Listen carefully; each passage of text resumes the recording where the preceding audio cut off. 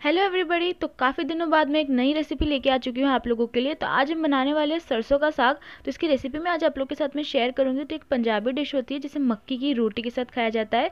Of course आप लोगों ने ये सुना ही होगा। तो चलिए फटाफट से ना स्टार्ट करते हैं इसे बनाना। तो सबसे पहले हमने यहाँ पे कुकर ले लिया फिर कुकर के अंदर अब हम यहाँ पर डाल देंगे पाँच सौ ग्राम सरसों। इसे हमने अच्छी तरह से वॉश कर लिया था और फिर अच्छी तरह से वॉश करके चॉप कर लिया था। एकदम चेक करके कैसे कोई बैक्टीरिया या फिर कीड़े वगैरह ना आ जाए इसमें। और इसके बाद में हमने 150 ग्राम्स पालक ले लिया है। पालक को भी हमने अच्छी तरह से चेक करके कट कर लिया था और इसे भी वॉश कर लिया था।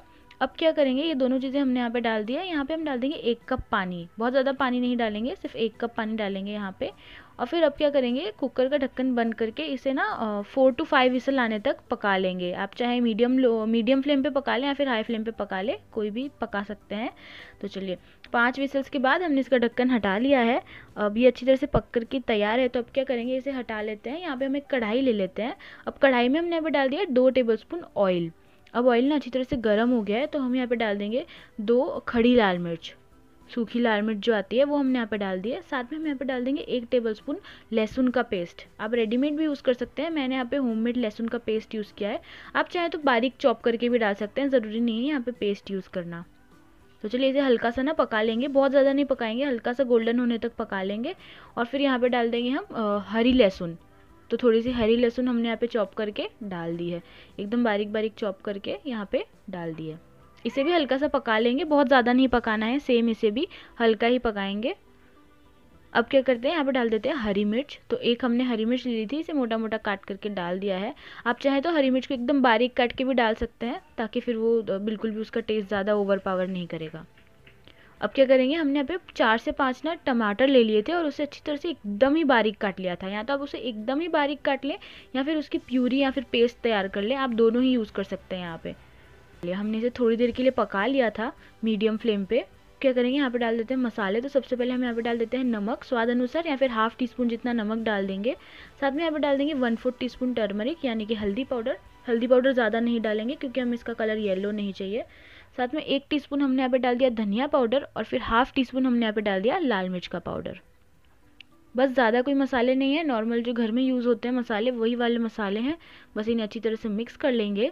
मसाले अच्छी तरह से मिक्स करने के बाद ना इसे टमाटर को ना अच्छी तरह से मसाले में पका लेंगे। लिए गैस का फ्लेम लो ही रखेंगे और अब हम यहाँ पे क्या करेंगे? दही डाल देंगे। तो एक टेबल स्पून हमने यहाँ पे दही ले ली है।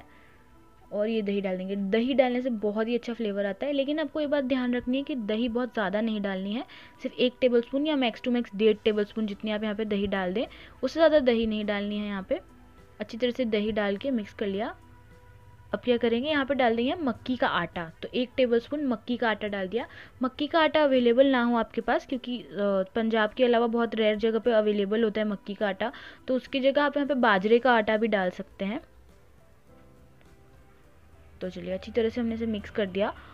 अब क्या इसे भी थोड़ी देर और पका लिया था हमने लो फ्लेम पे, दो मिनट के लिए। देख सकते हैं, अच्छी तरह से जो हमारे टमाटर है उन्होंने ऑयल छोड़ दिया है, मसाले एकदम अच्छी तरह से पक चुके हैं। तो अब क्या करेंगे, यहाँ पे डाल देते हैं हमारे तैयार की हुई सरसों और पालक। इन्हें हमने ना निकाल के अच्छी तरह से मैश कर लिया था। ये जो सरसों और पालक एक बार तैयार हो गई थी, इसके बाद ना हमने इसे अच्छी तरह से एकदम मैश कर लिया था। तो चलिए, इन्हें डाल के मिक्स कर लिया और अब मिक्स करने के बाद इसे पका लेंगे। दो मिनट के लिए अच्छी तरह से पका लेंगे। ये देखिए, अच्छी तरह से पक चुके हैं। अब दो मिनट बाद क्या करेंगे? हम यहाँ पे डाल देंगे दो टेबल स्पून या फिर दो टीस्पून जितना घी। आप जितना भी डाल सकते हैं, मैंने यहाँ पे दो टीस्पून घी डाला है। चलिए घी डाल के अब इसे अच्छी तरह से मिक्स कर लेंगे। अच्छी तरह से मिक्स कर लेंगे तो घी भी अच्छी तरह से अंदर मेल्ट हो जाएगा। तो चलिए अब हम क्या करेंगे? गैस का फ्लेम ऑफ़ कर देंगे। तो चलिए हमारा जो सरसों का साग है, वो तो बन के तैयार है। आपको रेसिपी कैसी लगी मुझे ज़रूर बताना। आप इसे मक्की की रोटी के साथ सर्व कर सकते हैं। मक्की की रोटी नहीं तो नॉर्मल रोटी के साथ भी आप इसे खा सकते हैं। और मक्की की रोटी की रेसिपी चाहिए तो मुझे कॉमेंट में ज़रूर बताना। मैं उसका भी वीडियो ज़रूर डाल दूँगी।